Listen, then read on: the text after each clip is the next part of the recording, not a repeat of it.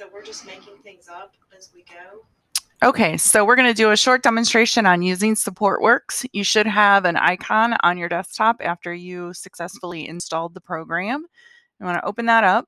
Right now, we're going to be running the free trial. We will all be getting um, an actual user registration once you complete the order form. Uh, we're going to open a new worksheet. And as you can see, it's pretty simple. I'm going to start with my county. Uh, I'm going to put a case number in here and enter the parent's name. We've got Michael Jones and Michelle Jones, and they have two children.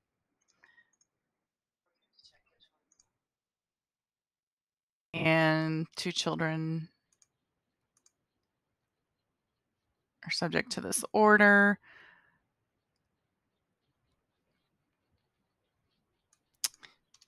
So you fill one of those two boxes out. There are two children subject to this order. The mother is going to get more than 90 nights, and the father is the healthcare obligor. Um, then you're going to go down to child one, who's 10, and child two, who's eight. Again, you should not be filling this out. Um, your attorneys or pro se should be filling this out, but we're going to just make up information for purposes of this demonstration. Uh, what I just put there was that the father, parent A, is paying $100 for childcare. So we're going to go next, and you can enter income information. They both make 50,000 a year with no other income. Um, we're going to say that the father pays $1,000 for health insurance premiums. And uh, we're going to go to next. As you can see, I did something wrong, um, which is nice that it tells you that.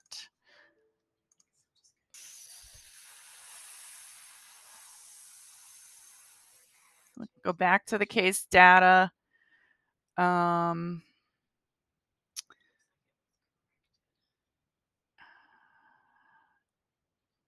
I think the fact that I didn't put two and two here is what it was referring to, and it looks like it fixed it. So let's go on.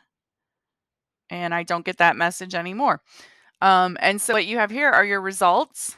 Um, and this is pretty much it. There is a print option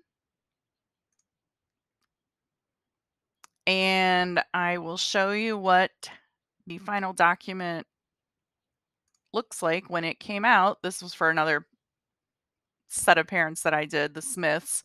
But you can see this uh, came out with um, all the information that was on that spreadsheet or on that um, program. Um, if they want to save this, they can save it here as a new worksheet.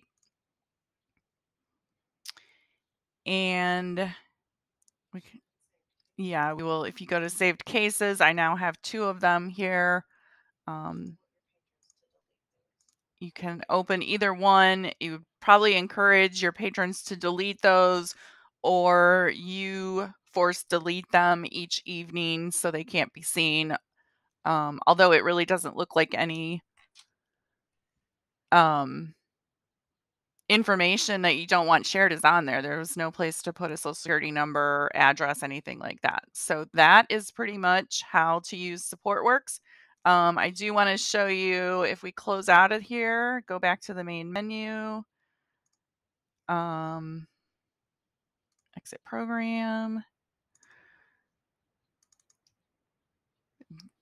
run the free trial. There is a instruction document. It's a PDF that you can print out and have available at the computers.